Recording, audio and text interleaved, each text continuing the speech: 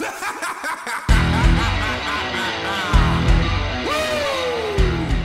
welcome once again to my YouTube channel. It's been a little while, hasn't it, since I've uh, put any content out that wasn't focused around my new venture with the Dogshark Blues Band. You might have noticed a slight rebrand of the uh, the YouTube channel to uh, incorporate now the, the, my wider doings. Uh, give us a like, give us a subscribe.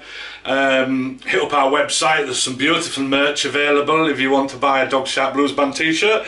Available now, uh, exclusively from our website. So anyway, uh, here I am doing a little uh, thing with a guitar today. I have this, you might have seen this in other videos, this beautiful, it's a, a made in Japan uh, ST62, 62 reissue Fender Stratocaster. And this has actually got some uh, late 80s uh, American standard pickups in it uh, and has been converted to be a slide guitar. Uh, this thing's developed a little bit of a problem with noise. Um, so uh, let me uh, let me see if I can illustrate what I mean by that. If I turn the volume all the way up on this guitar, you can maybe hear a little bit of a hum there in the background. I don't know if you can hear that kind of hum, but it kind of goes away as well if I touch metal parts.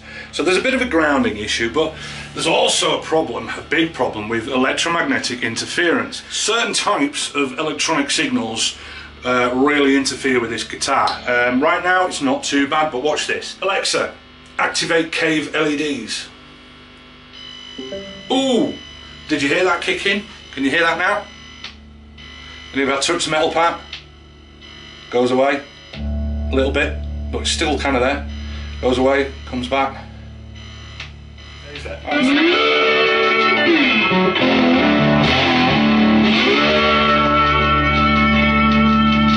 you get that sort of click, you hear that clicky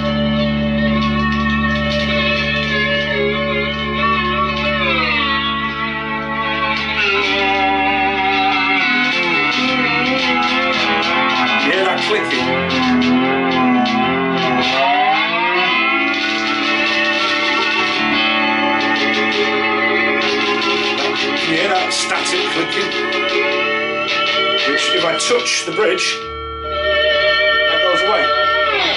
Alright, so we've got grounding issue, but we've also got this sort of electromagnetic interference issue. So what I thought I'd do is I'd do something that I've never tried before, I've never had to, I've never really felt the need. That is to electrically shield it with copper tape.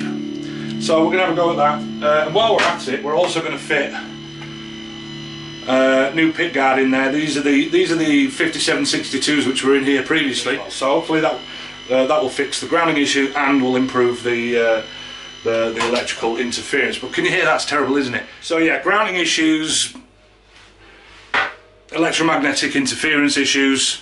So let's see if we can solve all that. Fingers crossed. Right, so here we are with the guitar on the bench. Uh, I'm going to do a little bit of a deconstruct to uh, to be able to get this pick guard off. Um, plan is I want to reuse these strings so I'm probably just going to take the neck off uh, get this whole pick guard up and out of the way because that's coming out and we're going to replace it with this whole assembly but in doing so we're also going to apply all the uh, the shielding uh, I've never done this before so this will be a, a, new experience for me. So let's see how it goes and I'm looking forward to seeing the results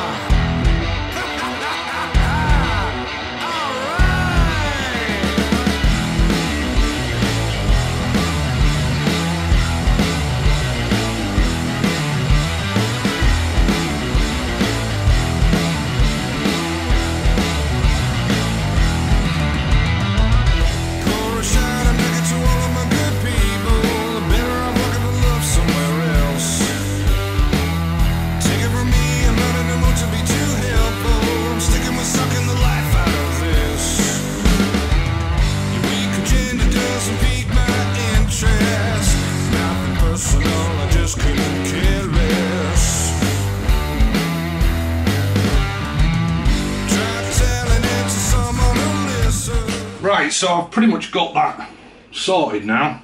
It's not the neatest job, I'll be honest with you, the first time I've ever done this, so finding the correct technique to get all this put in there was uh, was a little tricky. Um, I won't bore you with the details of that, but uh, it's all in there now, fairly neat. And as you can see, I've kind of left a bit of a, a lip for the most part, uh, coming over the edge of all the cavities, um, because what we're we're trying to achieve here is contact between this as a grounding plane um, and the pick guard. Uh, and then we'll continuity test everything. But for the moment, we've got two isolated cavities here, which have got two isolated ground planes, this one and this one. Um, so I need to connect those. So I'm going to use a little bit of wire uh, to do that. I'm going to just trim this so I can use it.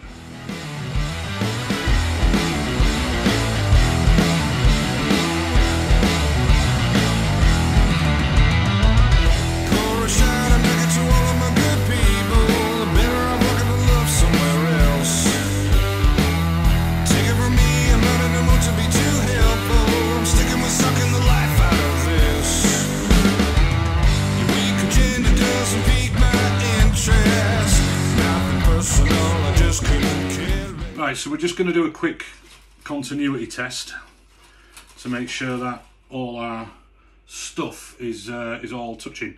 So, can you hear that? B continuity there. Oh, so we've got continuity there. Oh, look at that. That's good. Continuity there. Continuity there. There. There. Everywhere. Alright, so we're back. It's some time later, uh, and you might have noticed the ambiance in the room has changed. This because it's night time now. So what we're going to do now is we're going to, uh, even though you can see pick guard here has uh, already got a, sort of a, a ground plane on it, some silver tape. We're actually going to take everything off and we're just going to uh, cover it with our copper tape so everything's kind of matchy matchy and we're completing the uh, the job properly. So I'm going to crack on with that and catch up with you shortly.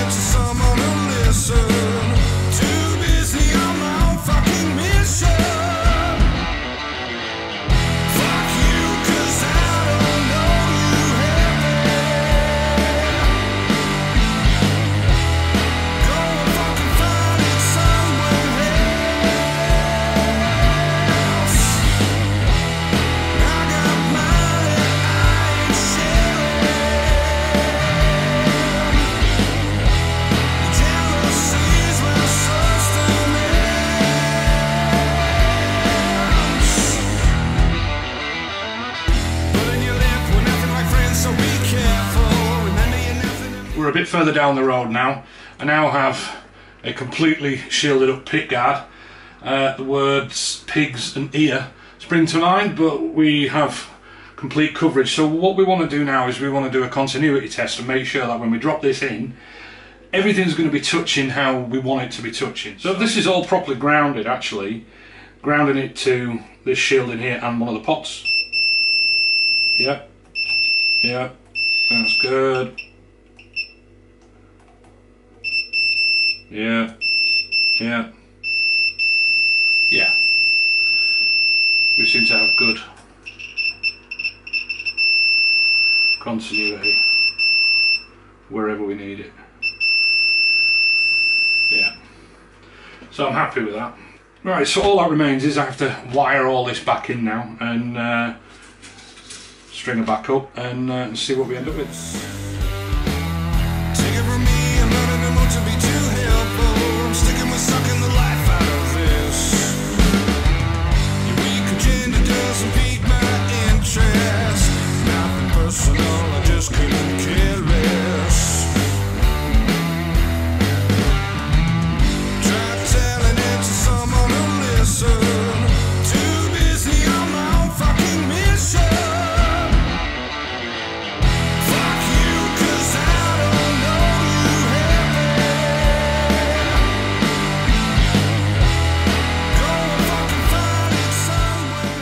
So moment of truth. Uh, we've done all that shielding now. We've got our new pick guard in with our new pickups. These pickups are actually like a more vintage style, so really they should be noisier than than the previous ones. But remember, there was two issues we were facing here. One was generally noise being picked up by the surrounding environment and so on. And when I illustrated that by illuminating my LEDs around the the, the ceiling here, uh, which introduced a huge amount of extra noise uh, into the equation. And the other issue as well was every time I touched, there was definitely a grounding issue because anytime I touched anything metal, um, it was it was grounding something and cutting out some of the noise. Uh, so right now uh, we've got our amp on, uh, we've got our drive fully on, so it's about as noisy as it can get from that perspective. Uh, and at the moment we're just all plugged in with the volume rolled down and there's nothing, I can't hear anything at the moment. Where I could before, even with the volume rolled down, there was a little bit of something.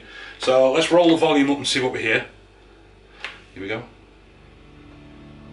Well, I can hear the noise, the guitar making a bit of noise, but it's silent. There's nothing. I mean, there's a tiny bit of hum. And let's see. I'm touching metal and nothing. I mean, I'm hearing microphonics, which you'd expect as I'm tapping things, but nothing. I'm touching the metal bits and it's just silent. It's, I mean, I'm, I'm hugely impressed with that. That's excellent. And, well, that's it with the volume up. If I play.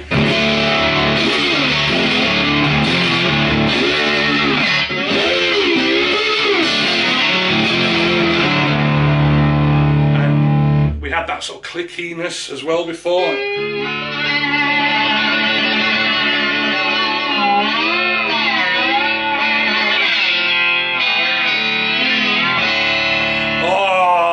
Sort of static clickiness we were hearing before, that's all gone.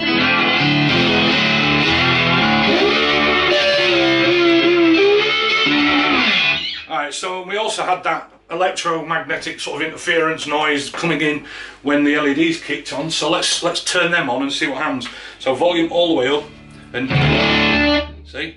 So nothing, nice and silent. Uh, so yeah, Alexa, activate cave LEDs. So they came on and no difference, absolutely nothing. Um, so, flip, that's like phenomenal success. I don't think I was quite prepared for just how successful that was going to be. Um, if, uh, you know, I had my doubts before whether shielding actually did anything, but having done that now, wow. I mean, what a difference that makes. This is now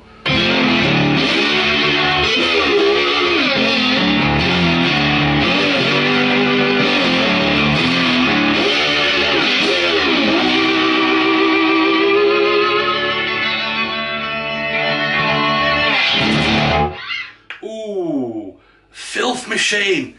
So yeah, um, if anyone was ever in doubt whether shielding actually helps, um, then doubt no more. It flipping well does. Um, and if I can prove that to myself, then you should believe it too. anyway, uh, don't forget to subscribe uh, if you like anything that you've seen here today. Uh, check out some of my other videos if you want to. Check out my band, a couple of great lads doing that with me, Matt and Simon. And uh, yeah, keep an eye out for us uh, a venue near you soon. So thank you very much for watching. Goodbye.